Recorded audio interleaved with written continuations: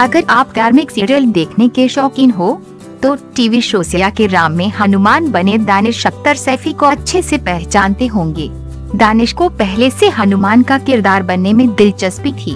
उन्होंने शो के प्रमोशन के दौरान एक इंटरव्यू में कहा था कि उनके लिए हनुमान का किरदार किसी तोहफे से कम नहीं है। हनुमान के किरदार के लिए मुंबई में तीन महीने की ट्रेनिंग और पढ़ाई की थी। वह बचपन से ही हनुमान जी को काफ़ी मानते हैं, लेकिन उन्होंने कभी सपने में भी नहीं सोचा था कि वे एक्टर बनेंगे। दरअसल बाय प्रोफेशन रेसलर दानिश को शो के प्रोड्यूसर निखिल सिन्हा ने एक रेसलिंग मैच के दौरान देखा था। इसके बाद प्रोड्यूसर ने दानिश को अप्रोच किया और सीरियल सिया के राम में हनुमान जी के रोल का ऑफ़र किया। छह फीट छह इंच लंबे रेसलर दानिश बारहवीं पास हैं और वे दलीप सिंह राणा उर्फ़ दगरट खाली से ट्रेनिंग ले चुके हैं। दानिश ने 26 जनवरी 2018 को गर्लफ्रेंड नादिया शेख से शादी की।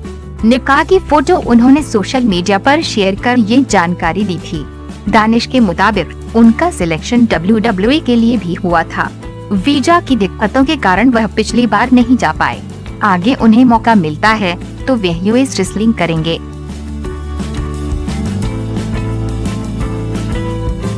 अगर आपको ये वीडियो पसंद आए तो लाइक एवं शेयर ज़रूर करें आपको हमारा ये वीडियो कैसा लगा ये हमें कमेंट करके ज़रूर बताएँ। यदि आपने अब तक हमारी चैनल को सब्सक्राइब नहीं किया है तो और भी नए और दिलचस्प वीडियोस देखने के लिए जल्द ही सब्सक्राइब करें